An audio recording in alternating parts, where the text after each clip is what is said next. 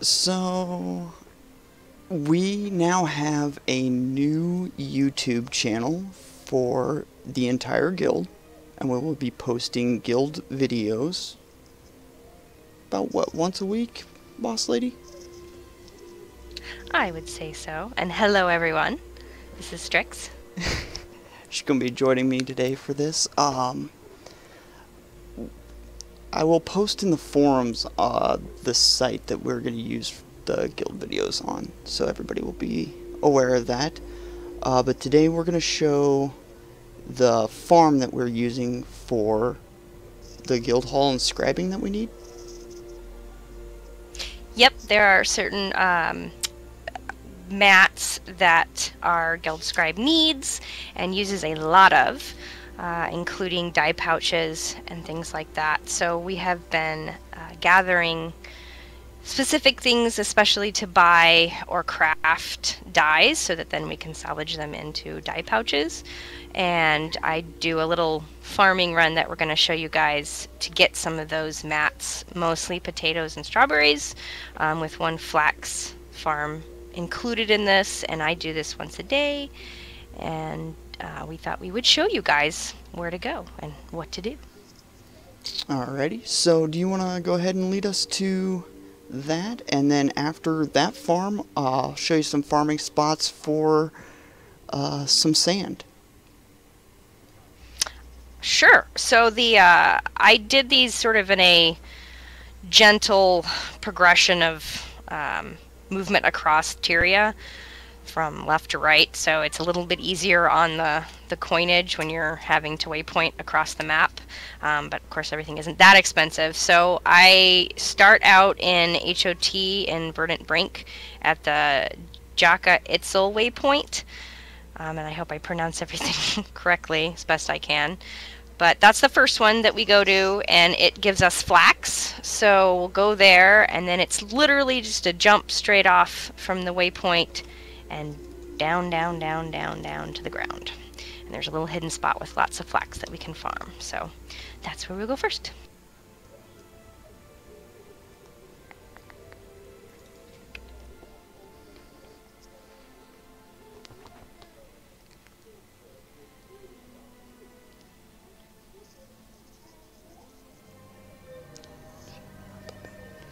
And flax is used uh, for a couple things with scribing.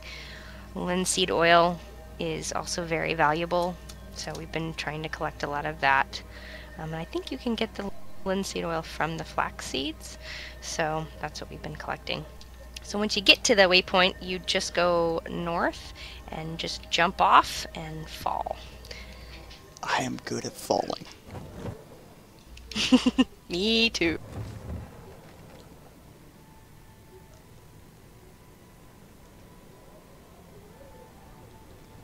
But we gotta watch out for the branches. Yes.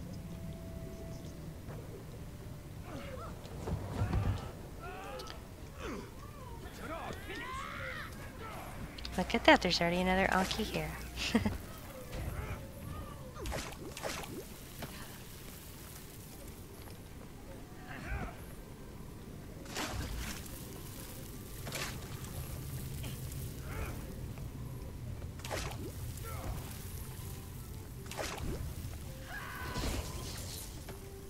So once you guys gather all of your flax at this farm spot, the next one that we, or that I have been going to is, and I don't know how to pronounce this, but it's AKK waypoint or AK? Ake? I don't know. Um, it's in Metrica province, and we go for potatoes there. So that's the next spot. Oh, the Akk Wilds waypoint? Yep. Oh yes, Akk Wilds. Yes, there's more to that, isn't there?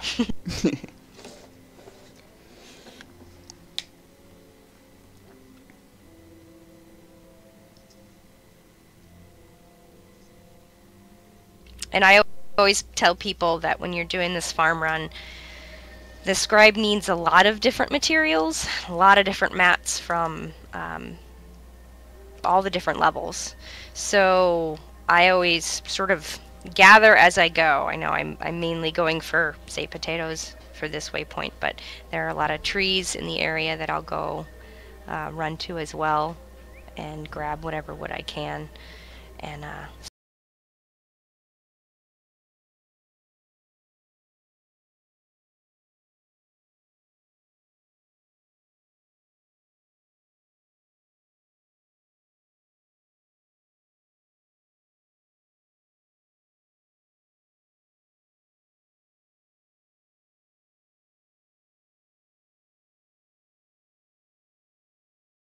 uh, so it's green wood in this uh, map, which is fine. Scribes do need green wood. They will always need green wood to answer that question of what do scribes need.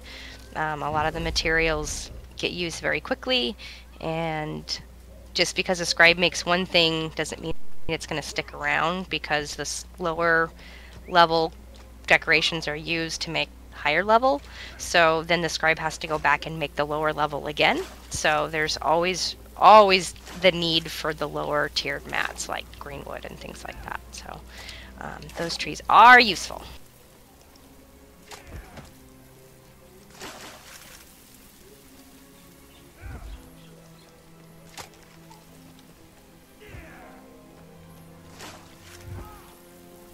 Oops, I'm doing a bad And I thing. think- I, didn't didn't Uh-oh. do my daily.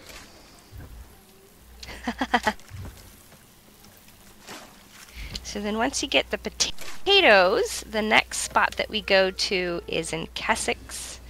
Um, s- I'm going to butcher this name again.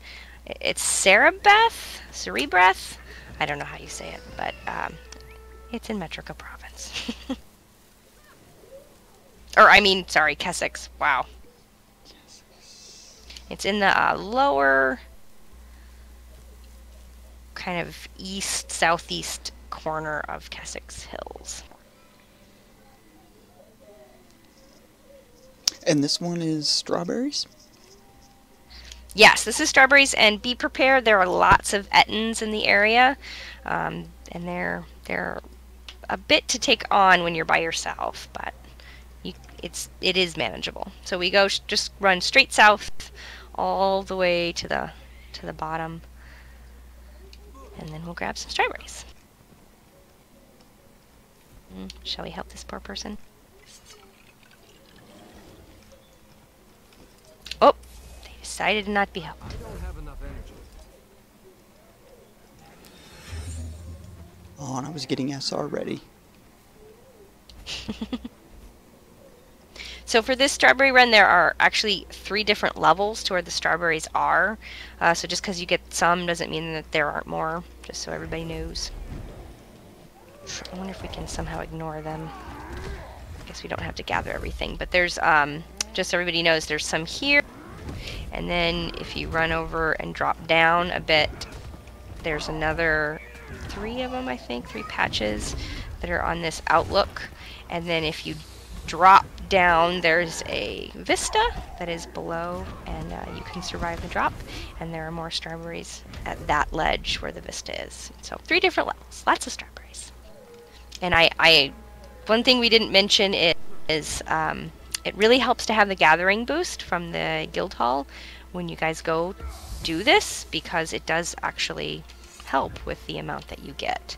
And by the end of this run, you can have somewhere between 40 to 60 strawberries, somewhere in there. So it's pretty awesome.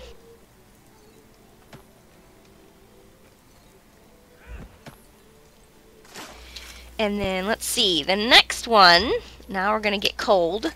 Um, we're going to go to Snowden, and it's the Exile waste, or waypoint, which is kind of in the middle at the bottom of the map.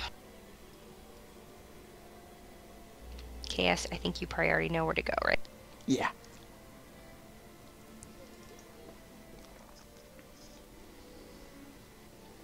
So I'm not quite sure why ANet put strawberries in the snow.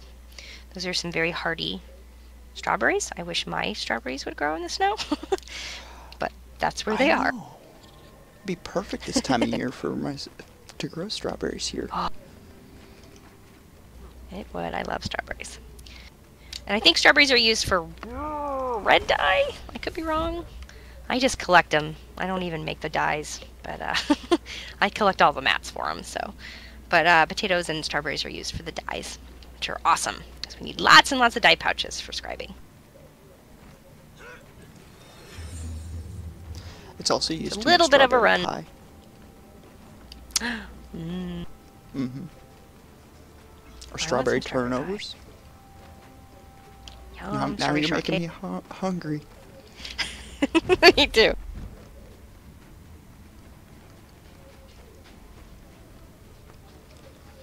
So this is where the strawberries are. There's a couple owl griffins in the area, but we're onkies, so they'll be nice to you. They will sense our owlness. Aww. And all the strawberries are pretty much in the same spot in, in here, so it's pretty easy to find them all.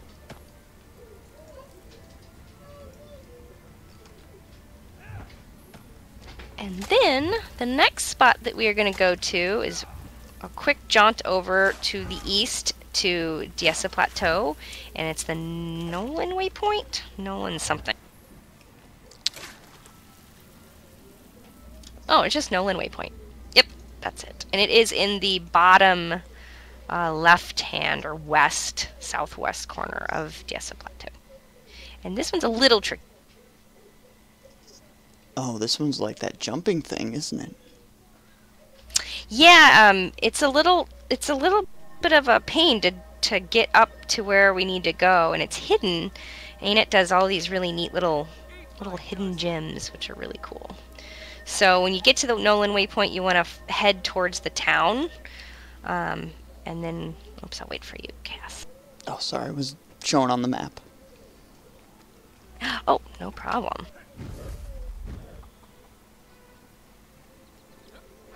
So you go through this big wall um, that's around the town, and you go kind of between these two dome-looking structures.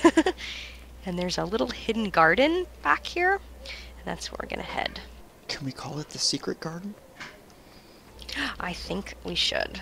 And the key to this, um, it's very easy to get lost in here. I just stay along the wall all the way. There's lots of these kind of moss covered gears, but if you just stay along the wall, you won't get lost. And then there's a little bit of kind of basic jumping, but it's kind of a pain in the butt. Um, but it is doable. I think some people jump up on the gear to get up. This is, I mean, I, I don't know, Cass, if you go that way and go up. Yeah, you do. Um, so there are two kind of ways to get up to this, and I, I use this other little shelf. So either way, whatever works for you guys. Oh, what little shelf do you use? Oh, I see. Yeah, it's not e- n- n- none of the ways are easy. No. See, I can't even do it. There we go. So there's just these other little gears that are sort of floating, and you jump up on the top one. I can portal you if you want. This is a big. Oh yeah, this is bad because it's all like cramped up in one spot. Here. so once you get to the top of this, uh, these two little gears that are stuck on this pole, you're gonna jump into this pipe. There's kind of a sneaky little hidden area, which is really neat. ANet designed some really fun stuff, and you run through the pipe and get to the to the more secret garden within the secret garden. I wonder what this was. It's so cool in here. Uh, was it this part of the Flame and Frost stuff?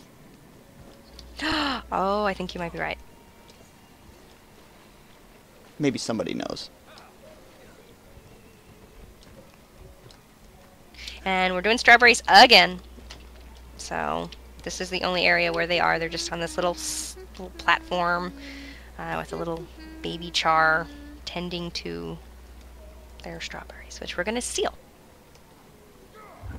Sorry, Borrow. Char. Borrow, never steal. Yes, yeah.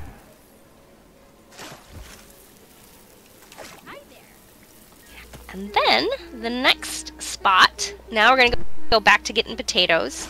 We're going to go to the Loreclaw waypoint. That is in Plains of Ashford. And it is kind of in the, it's, they're all, a lot of them are sort of situated in corners, which is really nice. So this one's sort of in the the southeastern corner of Plains of Ashford, and it's a really easy one.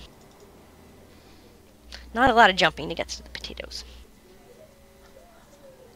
Good. I, I, I sometimes suck at jumping. Me too. Great at falling, bad at jumping. Hey, at least you didn't make your mesmer a char. Not quite sure why I did that. Because chars can PvP. ah, they're awesome. So then this is the potatoes. Um, there are some separatists that will spawn in this area that will shoot arrows at you, so just be aware. There's usually this one black ram that sits in the middle of this potato farming area and gets angry very easily. So try to appease the black ram and kill the separatists at the same time. By appease, she means you can go ahead and attack it. no. Oh, it's a sheep. It's not a ram. Oh, Sorry, sorry, sheep. It's a girl.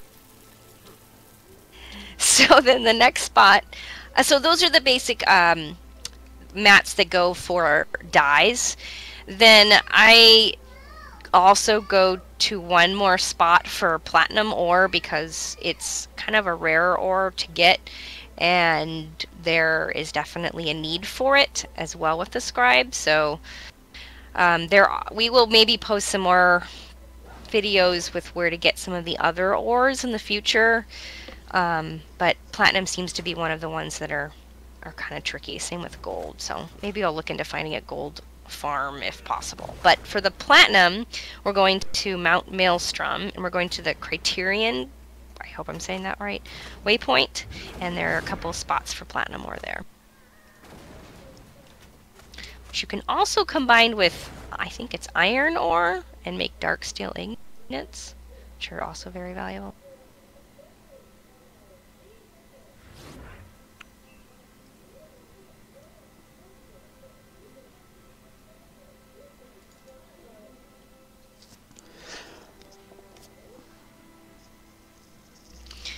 And let's see, with this one, um, there are a few nodes that are usually up on the mountainside, right where you first come in.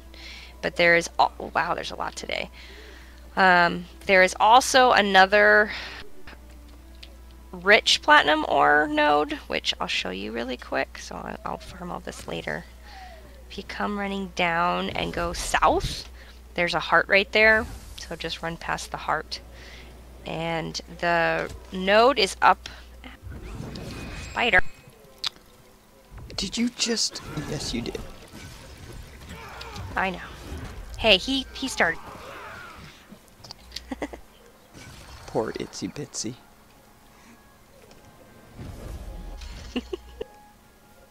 Ah, that one missed me. So you come up in this up to this temple. Wonder what this was for. And you come over to kind of the right side of the stairs, and you run up the side, and you go up onto the hill or mountain, the rock face, and you can actually go straight up. And then hidden in all of these, all this foliage, is a rich platinum vein, and I think it's pretty popular. So people tend to come and farm this spot. So this is a great waypoint for a lot of platinum. Um, and if you do this every day, you'll you'll you'll get a lot pretty quickly. And that's really it. That's all we've got so far. Uh, we tried to keep it pretty simple and straightforward. Um, most of these farming spots are in pretty low level maps, pretty much, I think, except for, of course, the first one. So they should be pretty easy to go through really fast. You can technically farm them all with every single one of your tunes um, and collect a, a whole bunch of strawberries and potatoes and flax. Um, but yeah,